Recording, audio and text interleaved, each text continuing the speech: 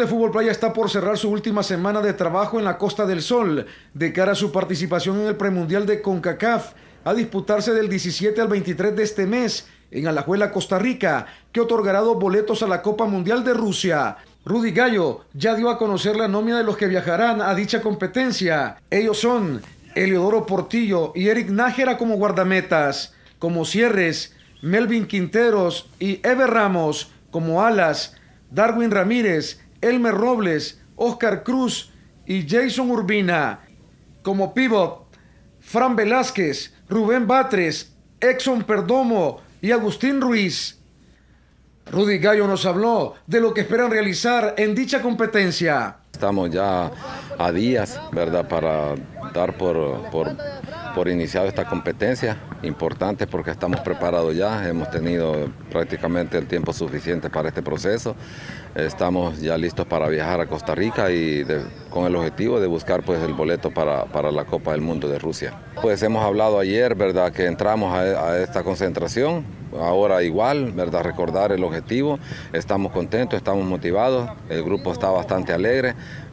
Sabemos que ya se redujo a los, a los 12 que van a viajar de los 18 que teníamos, entonces ellos están claros que son los que van a defender pues los colores de nuestro país y bueno, pues eh, ellos vienen muy contentos de sus hogares, eh, ¿verdad? Saben que traen un compromiso de la familia, igual pues del país, eh, ¿verdad? Sabemos que mucha gente está detrás de, nosotros, entonces eso prácticamente pues lo motiva a uno a, a trabajar y a ir a buscar el resultado a Costa Rica. Nuestra selección lleva tres premundiales sin conseguir la clasificación. Fuimos organizadores en el 2015 y no se consiguió el objetivo, ni en el 2017 y 2019 por lo que se tiene ese compromiso de hacerlo en Alajuela para darle esa alegría a la afición salvadoreña. Nuestros guerreros además nos hablaron de los rivales que enfrentarán.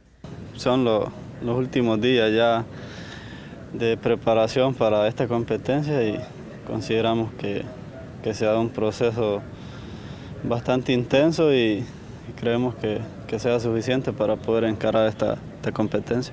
Gracias a Dios ya se acerca lo que es la eliminatoria, estamos concentrados en lo que queremos. Creo que lo, que más queremos y estamos enfocados es agarrar un boleto para pelear el Mundial. Ya ahorita ya solo afinando los últimos detalles está el cuerpo técnico, ya estamos practicando lo que es definición, defenderlo un poco bien y cometer los menos errores. Este, los rivales depende de quién sea, nosotros estamos enfocados porque en realidad pasando la primera fase vamos a enfrentar a cualquier selección y estamos concentrados que toda, todos los partidos tienen que ser y, o jugarse como una final. El Sabor enfrentará el lunes 17 de mayo a República Dominicana, el martes 18 de mayo a Guatemala y el miércoles 19 a la selección de Bahamas en fase de grupos. El objetivo es lograr la quinta participación en un mundial de esta modalidad. Para la polémica, Tom Coreas.